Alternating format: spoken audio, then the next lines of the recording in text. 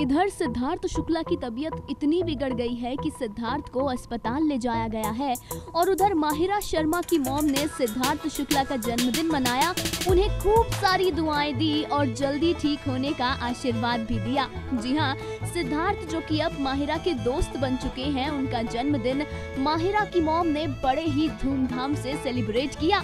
ठीक वैसे ही जैसे उन्होंने माहिरा का बर्थडे सेलिब्रेट किया था। जरा देखिए, कैसी रही माहिरा के घर पर सिद्धार्थ सिद्धार्थ तो शुक्ला की बर्थडे सेलिब्रेशन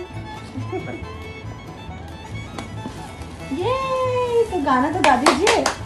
गाना तो लगाओ। Happy birthday to you happy birthday to happy birthday to happy birthday love you तो क्या कहेंगे आप सिद्धार्थ के लिए और माहिरा के लिए? मैं इनके लिए बोलूँगी गॉड से प्रे करूँगी। इनकी तबीयत ठीक नहीं है, जल्दी जल्दी ठीक हो जाए, अच्छे तंदुरुस्त हो जाएँ, बिग बॉस के अंदर जाएँ, क्योंकि उनके बिना मज़ा नहीं आ रहा बिग बॉस के अंदर। मुझे मजबूरी में देखना पड़ रहा है, क्योंकि मेरी बच्ची है उसके अंदर इसीलिए। दोनों बार अपना शहनाज मायरा बहुत अकेली बढ़ गई हैं, शायद आज पारस आ जाएगा। आप भी जल्दी आ जाओ। God bless you. भगवान लंबी उम्र करे, अच्छी कामयाबी पाओ, तरक्की करो।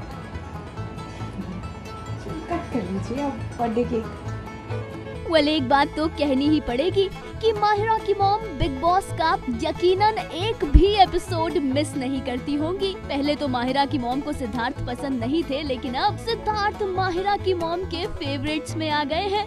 Final card entertainment desk